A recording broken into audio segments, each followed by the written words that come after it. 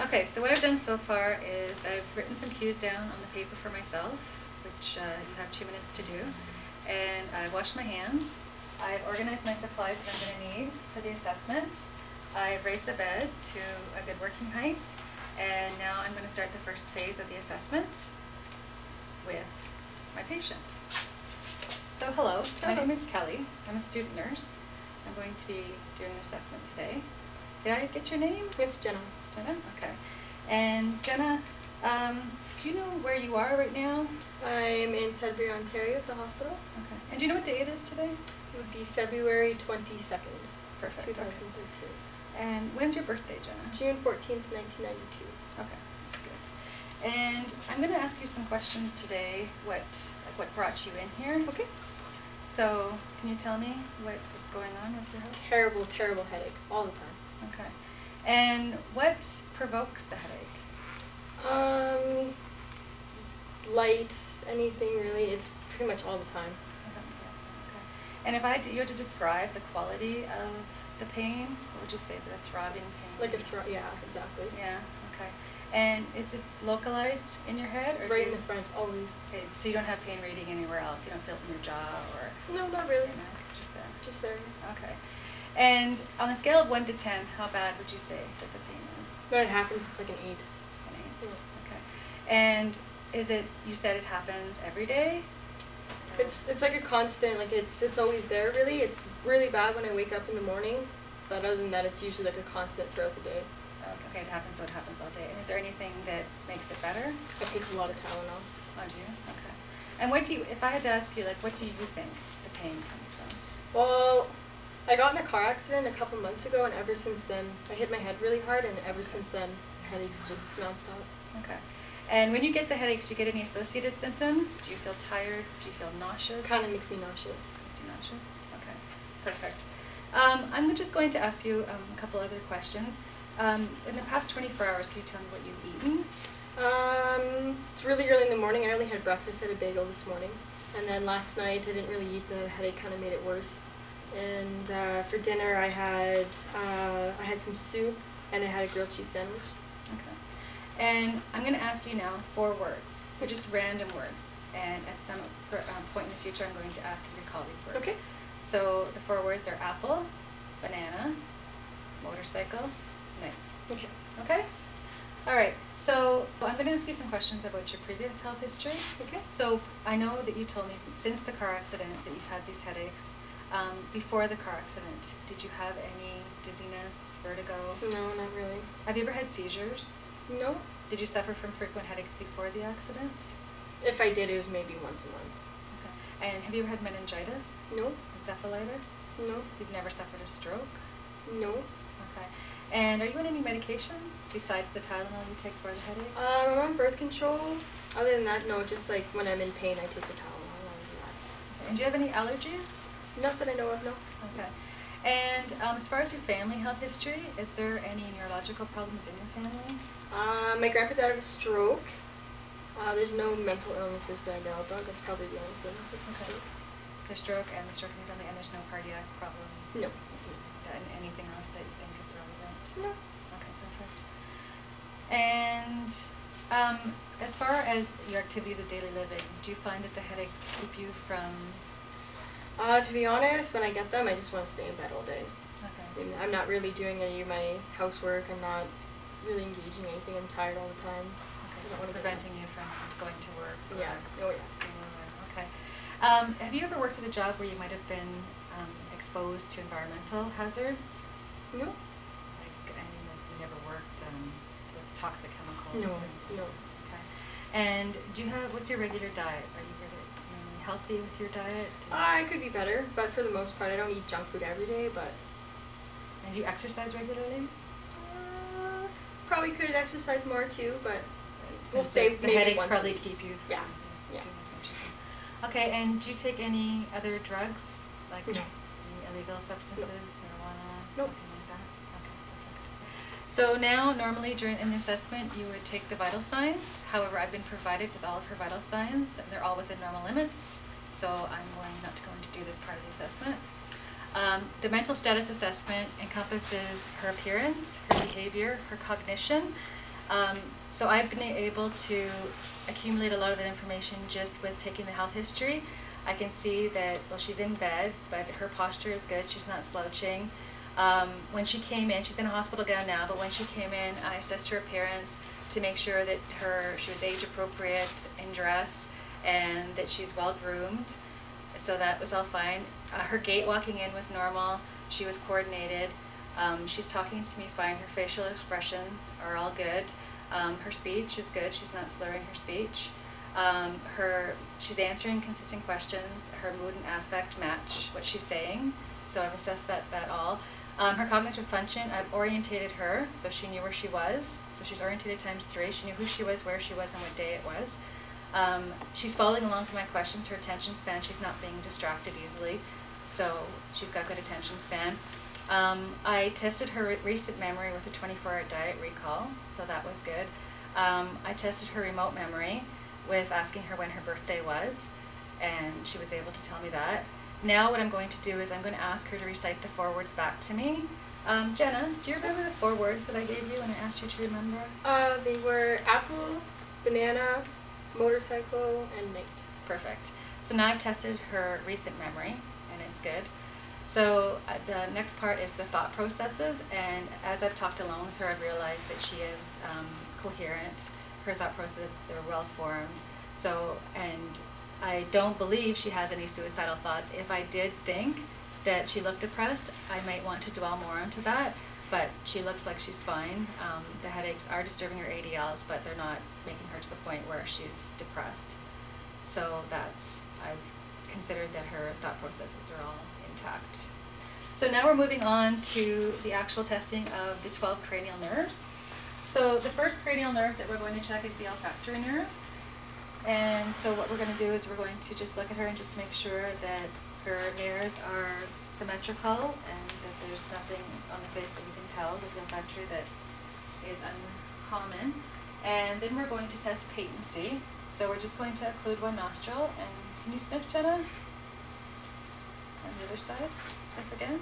So now we know her nares are patent. So then we're going to test her sense of smell. So we're going to take it, we're gonna, will you close your eyes for me? You're going to take a familiar object, or familiar scent, sorry, and you're going to have her smell. Can you sniff? Can you tell me what that smells like? Like oranges. And you're going to use a different scent for the other side. Can you sniff again? That one smells like coffee. Okay. So her sense of smell is intact. Um, if she couldn't smell them, um, if she could smell, couldn't smell them both on, like bilaterally, it would call, be called anosmia. If she could smell from one and not the other, it's considered neuro, neurogenic anosmia, and that's a problem. Um, if she couldn't smell from one nose, it would just it could mean that she had rhinitis or um, sinusitis, something normal, but um, both uh, one side and not the other is abnormal. Cranial number two is the optic nerve, which is, of course, her eyes. Um, at this point, if I was doing an actual assessment, I would do a Snellen test and a mini Snellen. So for the Snellen, you have her stand um, 20 feet from an eye chart, and you want her to be wearing her corrective lenses if she has any, or not, and she should be able to read 20/20 from 20 feet. Um, then you do a mini Snellen, which you hold up closer to her face. Then you want to test, um, do a confrontation test. So what you're going to do is you're going to have Jenna, can you just close yeah. off one of your eyes? And you're going to, you're going to close the same one as well. This is a peripheral vision test. Okay. So can you tell me when you see my fingers come into view? Right now. No. Okay. So what you want um, is you want you her to see them at the same time that you saw them, assuming that your peripheral vision is normal. And she did, so that's all normal. And then we're going to take the ophthalmoscope. And what we're going to be looking at now is her optic disc and her ocular fundus. So you want to be on the same side as the eye that you're seeing. And start off down here. So what you want to be looking at is the back of the eye. You want to focus the red light on the back of the eye to see her optic disc. Normally it should be yellowish to orange. It should be round, oval, and it should have clearly disseminated edges. So everything is fine in this case. And then you would do, of course, the other eye on the other side. The next nerves um, are grouped together, the cranial nerves 3, 4, and 6, which are the oculomotor, trochlear, and abducens nerves. For these, you want to check for palpebral fissures on both sides to make sure that they're even. If she has any drooping, it's called ptosis, and you want to document if it's equal in both eyes or if it's off to one side. You're going to check her pupillary, pupillary reflex with a pen light. You want to make sure that they're equal, that they're reactive to light, which they both are. And then now we're going to check her, her positions of gaze. So could you look at my finger? And now you're going to follow it.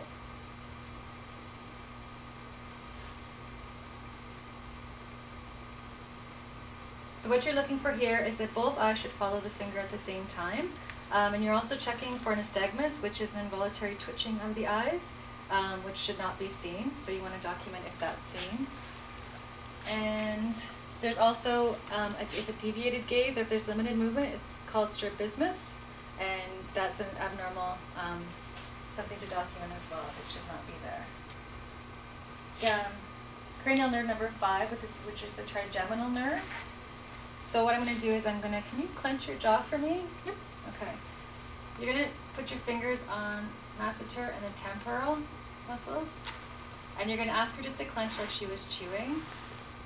And again, you're testing for symmetry. And that's fine. This is testing the motor part of the trigeminal. So can you clench? And I'm going to try to pull your... So you press on the chin and try to attempt to pull their teeth apart, which you should not be able to do. So that's the motor part of the trigeminal nerve. Then you're going to test the sensory. So I'm going to have you close your eyes. I'm going to touch spots on your face. Can you just tell me when you can feel them? No. So you're going to test three spots. You're going to test mid-brow, you're going to test under the eye on the cheek, and you're going to test the chin. And this tests three nerves, which are the ophthalmic, the maxillary, and the mandibular nerves. And she can feel them all. That's fine. Also, in uh, this is a test that would be done. Um, you can ask your instructor if they want you to do it. I'll just describe it. Um, can you look straight ahead for me?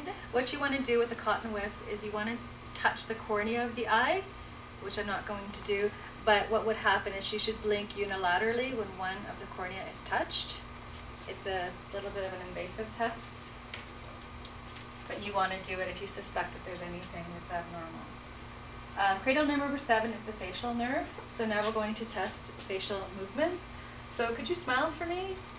Could you raise your eyebrows and frown? Okay. So what you're looking for now is you're looking for symmetry of movement. Um, that you're looking for any drooping, any possible paralysis, anything that might be abnormal there. But we saw everything was pretty symmetrical and normal, so we're okay with that.